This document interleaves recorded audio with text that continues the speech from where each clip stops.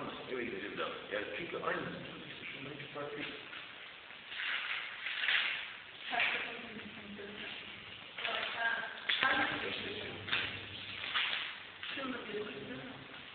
Hatta ondan daha fazla.